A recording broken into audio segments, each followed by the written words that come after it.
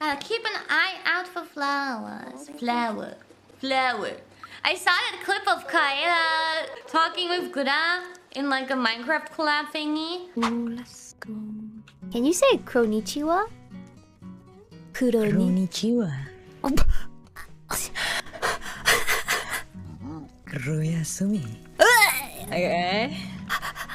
Where, yeah, she was talking and sounding like Kronii. She really does. Like, I guess, like, I never realized.